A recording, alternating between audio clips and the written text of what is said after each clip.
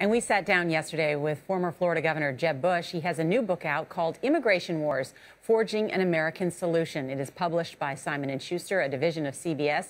And we began by asking if Republicans need to reach out to women and minorities if they want to take back the White House. Absolutely. I mean, you know, one thing is to say, well, we win um, off year elections. That's great, and uh, that's true. But in the uh, presidential races, you have significantly larger number of people voting, and uh, you have to make sure that uh, their voice is heard and that your message, you know, is for everybody. And I think this is solvable. I don't think this is a uh, impossible task. Uh, wasn't that long ago people were writing off the Democratic Party. Now I think it's a little premature to write off the Republican Party. Your brother got 44% of the Hispanic vote. Mm -hmm. Mitt Romney got 27% of the Hispanic vote. In his first post-election interview, he said the reason that minorities voted for Obama was because of Obamacare.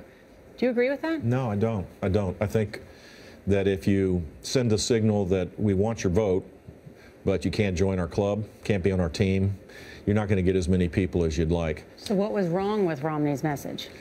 It was not a, a open message. It was it was one that um, you know for a guy as good as he could have been as president.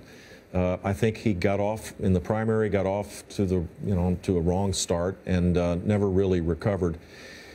Look, this guy, it's not this is not a problem of Mitt Romney's. Romney's a good, decent man, and I wish he was president of the United States today. It's a problem of our of the conservative movement and of the Republican Party. Many people wish that you would be uh, the nominee in 2016. Where do you stand on that process? Uh, I'm, I've decided not to think about it for a while, and I have the discipline to do that. Uh, so that's what I'm. That's the status.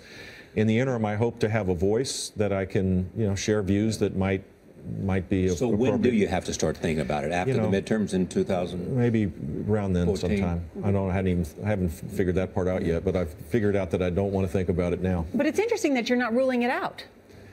I'm not ruling it out. That I guess is interesting. I don't. I don't find it that interesting. But it's. Uh, it's. Uh, you know.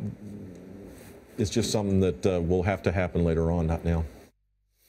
This book is getting a lot of attention, right. not only because of Jeb Bush's political futures, but his position on immigration, which some people say he has changed. Yeah. He told you uh, a while back that he supported a pathway to citizenship. Now he's talking more about a pathway to residency, more in line with what Marco Rubio and others say yeah. they're supporting. People are picking up on that and looking at the book. Exactly.